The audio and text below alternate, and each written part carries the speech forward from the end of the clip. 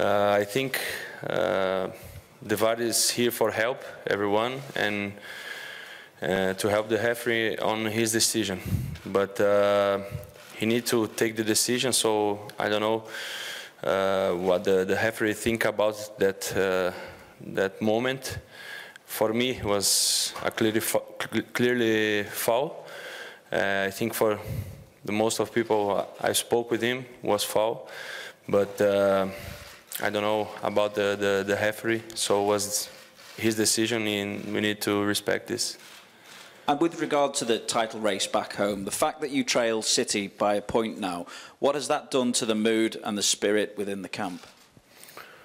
Don't change nothing. Uh, we have our goals and we are fighting for it. Uh, our goal is win the, the league and everything we are playing, the Champions League as well.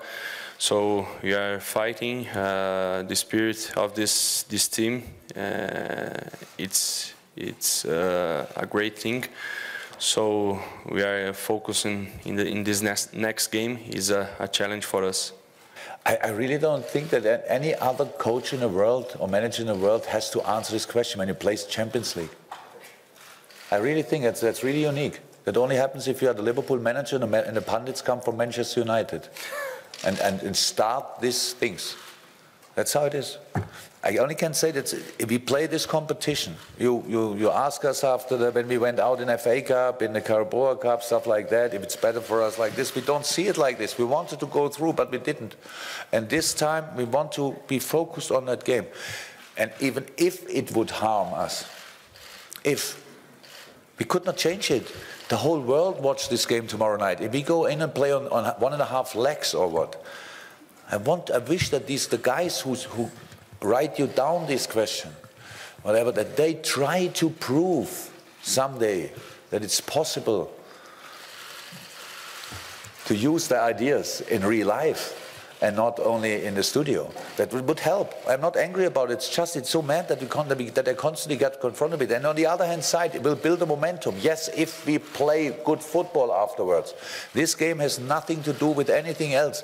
If we only stay in this competition and, and, and, and we win it tomorrow night, if we deserve to go through, if we play good football, it could mean it could change the world for us. If not, and then we say on Thursday morning, so now oh, it's over and now let's concentrate on Fulham. Of course, that's how it is. Nothing to do. It's only one game, a very important game, very, very important game, and more important games will come. So, uh, Sunday, Fulham, and then, I don't know, Tottenham, and then the next one. That's all we come. But tomorrow night, we only play one of them, and that's against Bayern. One more, Vinny. Uh, the point I was just making, though, was that in the past we have seen cup competitions go in tandem with a really successful run in league. And, and so that's where the other always, argument falls down. Not always. Eh? It was not always like this. Sometimes, and not always. And that's how it is. Tomorrow we play against Bayern. That's it. And then we play against Fulham a couple of days later.